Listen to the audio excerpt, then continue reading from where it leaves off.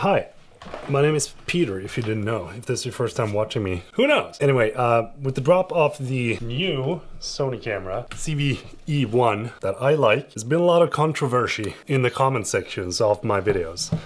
a lot of people that are disgusting about why they're dropping the camera. And in my opinion, I think that the camera is great. I think it's fantastic to see Sony dropping a camera that is going to be more affordable for people that are, you know, wanting to get into the business. And as I said in one of my previous videos, it doesn't make your A7S3 camera bad in any sort of way. Your camera still has the functions. However, though, the firmware updates that Sony have not dropped for the A7S3 is horrendous. I think it's incredibly bad that they're not putting out updates to a camera that has the potential to become just as good as the A7R5, almost. I think the biggest difference is the processor though. So maybe this camera can't do the same processing as that camera. I don't know. But I wanted to share my thoughts on the future of the filmmaking cameras from Sony. I have no idea if this is true. These are just my thoughts. And I feel like in the video that I made between the A7S3 and the ZVE1, there was a lot of things that didn't really land right. So I thought we should dive into that a little bit further and share my thoughts on you know, where I think that things are going to go. When it comes to the A7S series, I've been using it for two and a half, three years almost, and I think it's a fantastic camera, especially the A7S III. I didn't have the opportunity to use the A7S II camera when that was released because I wasn't interested in cameras back then. The things that I have been able to produce with the Sony A7S III is nothing, is nothing, nothing, is nothing, nothing short but amazing to be honest. For for someone like me to be able to use a camera and learn a camera and to be able to produce something such as rivals 3 or rivals 2 or rivals 1 that for me is mind-blowing because when I started using a Sony action camera, I never thought I would be able to get that image quality from a camera like this. Now that the camera is a little bit older, it also starts to feel a little bit old. Not in the sense of what you get for the camera, because it's still a workhorse. It's still one of the best cameras that you can buy for work if you don't want to you know, skip out on the viewfinder and go for the FX3. But when it comes to these two cameras, I think that this signals the end of the A7S series. And that is what I said in my previous video. And what I mean, meant by that is that the A7S series is not really having a place anymore. I don't really see where the S series is going to fit in if they release an FX3 Mark II or an FX30 Mark II or a ZVE1 Mark II. As much as the viewfinder is a great thing to have in the A7S series, it's not a necessary thing. I haven't used it, as I said, you know, for anything except for photos. I think it's like two times. The FX3, when I used that, I was a little bit torn about what kind of camera that was because it, came kind of close to the release of the A7S III. But now I see that the cinema line features of the FX3 is what makes it such a good camera. Especially now that I've been shooting with the FX6 as well, I kind of understand the whole cinema line feature and cinema line lineup.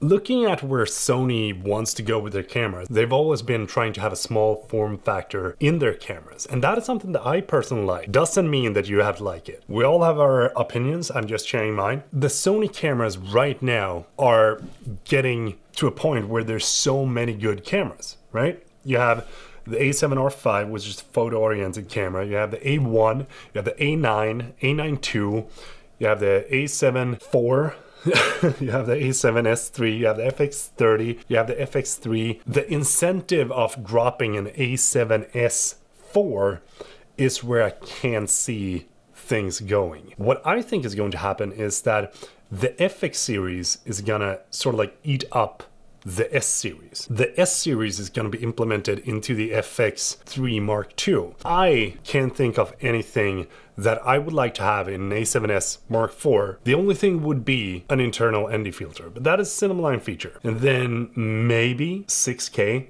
not something that I would like to have or need to have, but it would be a cool feature. Time code, all that stuff, and the possibility to import LUTs. But all of those things are cinema line features.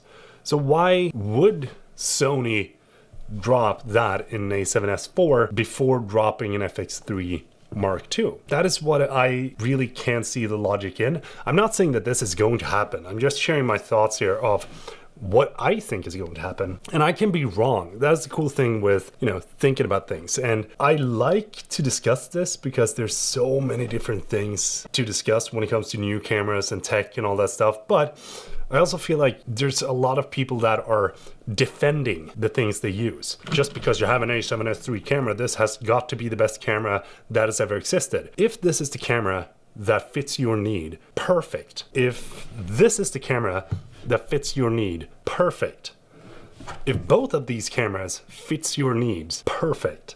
For me, I just like to have the options of different cameras and I like the fact that things are dropping and we can decide on what kind of camera that we want to get. As I talked about previously, this camera is not a workhorse. It's not going to be the one that you bring on to shoot to shoot music videos as compared to something like the A7S III. But if you're mainly doing videos, then I would probably go for the FX3 instead because the A7S III has honestly served pretty good. I'm not saying that you should sell your camera, don't do it because this is a very good camera. But if you're in the market of buying a new camera, especially a video camera, the A7S III is probably not the best option when it comes to video as compared to the FX3, but it's still a great option. If you just want to learn how to use a camera but still go into full frame and have the possibility of have all the intelligence auto modes so that you can start using this, that is where I think that the ZVE one kind of has its place. I think it's fascinating because we're we're reaching a point where the cameras that are released are so incredibly good right now.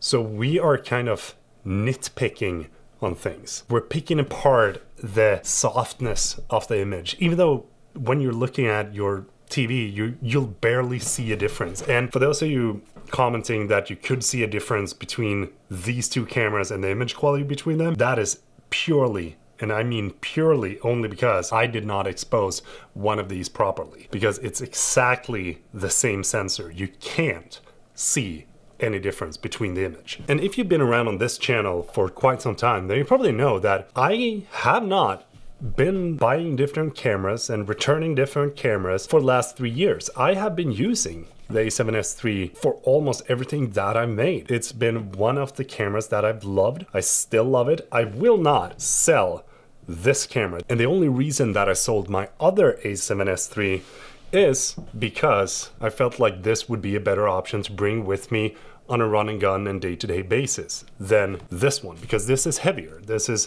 bigger bulkier and honestly this serves my purpose. And i mean that again my purpose very well. So whatever your arsenal is consisting of right now don't feel bad because there's new camera gear dropping. The things that you have still serves as a just as a good camera as it did yesterday or a year ago. It's not gonna be worse just because there's something new on the market. I'm probably gonna use the ZVE1 for the coming five years and the A7S III for another three years. But now, instead of having this or this as my main camera, I'm gonna have this as my main camera.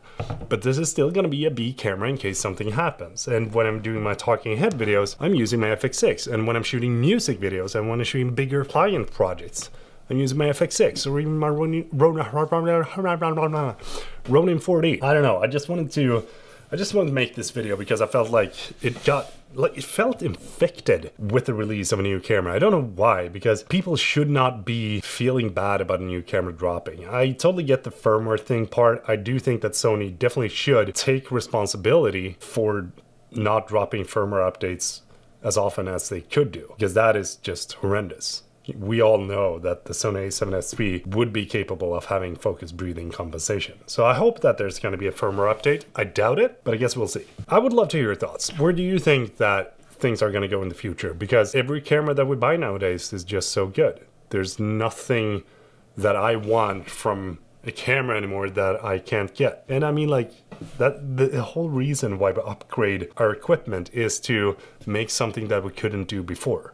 So if you feel that you still can do everything that you're doing right now with your A7S III, then keep your A7S III. It's not going to get bad. But you also don't have to judge anyone else for wanting to have a new camera if they have been using their old camera for a very long time.